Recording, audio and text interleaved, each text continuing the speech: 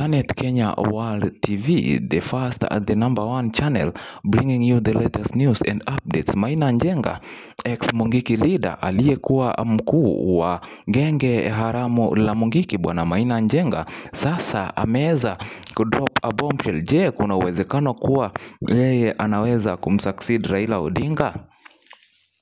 Raila Odinga sasa ameweza kufungua a big coalition ambayo imewahusisha bwana Maina Njenga, Jeremiah Kioni, bwana fulani anayefahamika kama Jimmy Wanjigi wa Safina Party.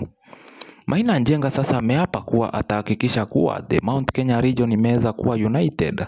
Maina Njenga ambaye ameendelea kupata upingamizi mkali kutoka kwa naibu rais ambaye ameona uwezekano wake wa kuweza kuwa mkuu zaidi katika eneo hilo la Mount Kenya. Azimio la Umoja ikiongozwa na Raila Amolo Odinga, Martha Karua his counterpart Raila Odinga na personal bodyguard wake ndio unaoona katika picha hiyo ambao anatarajiwa kuzingua mradi mmoja na muungano mmoja mkubwa zaidi ya sana ambao unatarajiwa kuunganisha watu wote wa Mount Kenya from Kiambu to Nyeri, from Karatina to Murang'a, from Nyandarua to Nanyuki. Mtazamaji, Laikipia mzima pia wapo ndani. Kumbuka Maina Njenga alisema kuwa tarehe hizi fulani Ijumaa ataweza kutoa ujumbe mkali kuhusu siku ambayo jambo hili litaweza kutokea.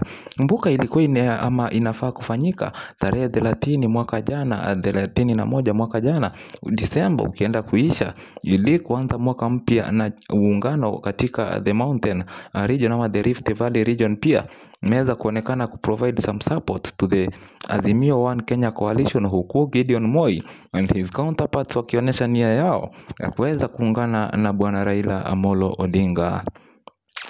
Maina Njenga pia atakuwa anatoa taarifa kuhusu muungano huo ambapo Kenya itakuwa inapeperusha bendera kuweza kuweka mikono pamoja na kuleta uongozi mpya katika jamhuri na jamii ya Kenya kwa kina. Mtazamaji, kumbuka ni Planet Kenya World Television inayokuletea habari hizi kwa kina.